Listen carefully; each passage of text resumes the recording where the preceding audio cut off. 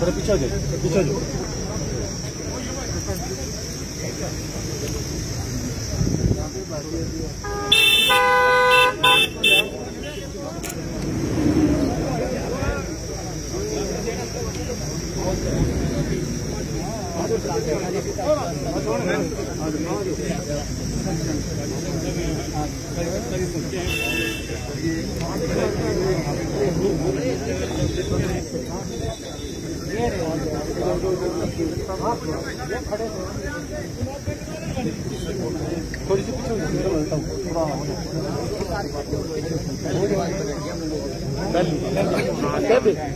और क्या करते फाइनल न्यू है बंद दिख रहा काट दे रो मैं कर दूँ मैं कर दूँ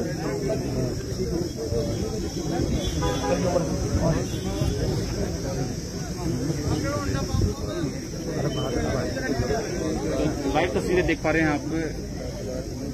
इसरामा से पर उप मुख्यमंत्री दुष्यंत चौटाला पहुँचे हैं और जो उनका कार्यक्रम हाँ। निर्धारित जो कार्यक्रम था भारी किसानों के विरोध के बाद यहाँ पर पहुँचे हैं और बीजेपी के कई विधायक है वो यहाँ पर पहुँचे हैं।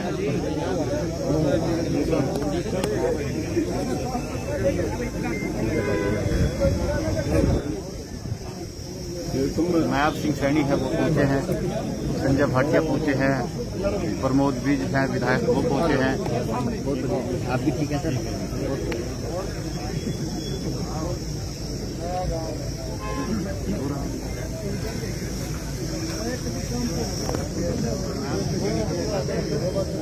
Sir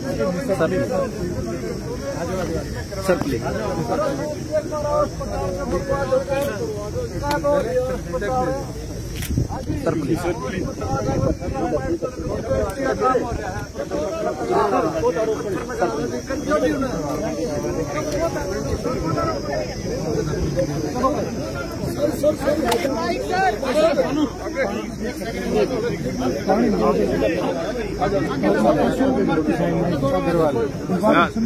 Dushyant ji आप इसराना पहुँचे भाई दुष्यंत जी।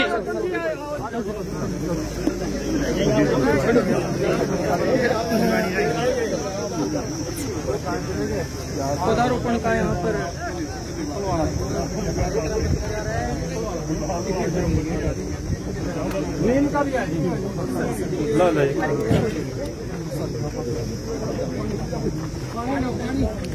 भाई रोकेंगे तो भी डिवाइड करेंगे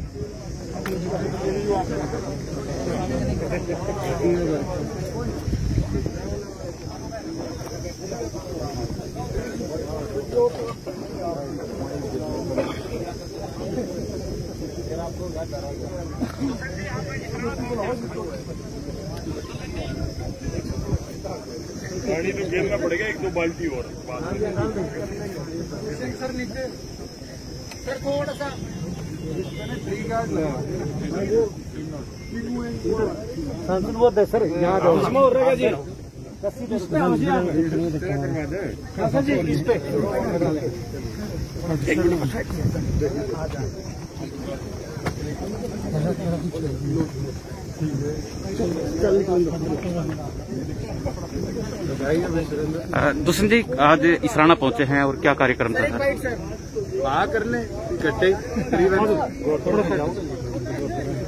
सर जो प्लॉटिंग हुई है उसमें इसराना के लोगों का भी कुछ हिस्सा रहेगा? बिल्कुल रहेगा।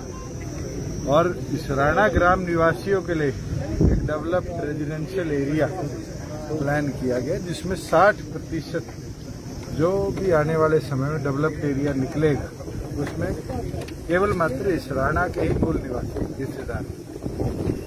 एक पंचायती चुनाव को लेकर के सर क्या तैयारियाँ हैं लोग? चल रही है वोटबंदी हो चुकी है।